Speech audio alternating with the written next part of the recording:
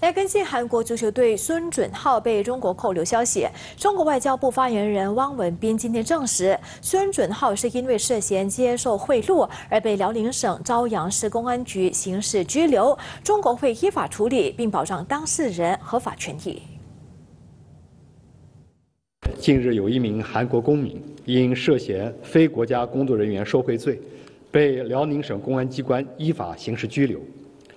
中国是法治国家。依法处理有关案件，保障当事人的各项合法权益。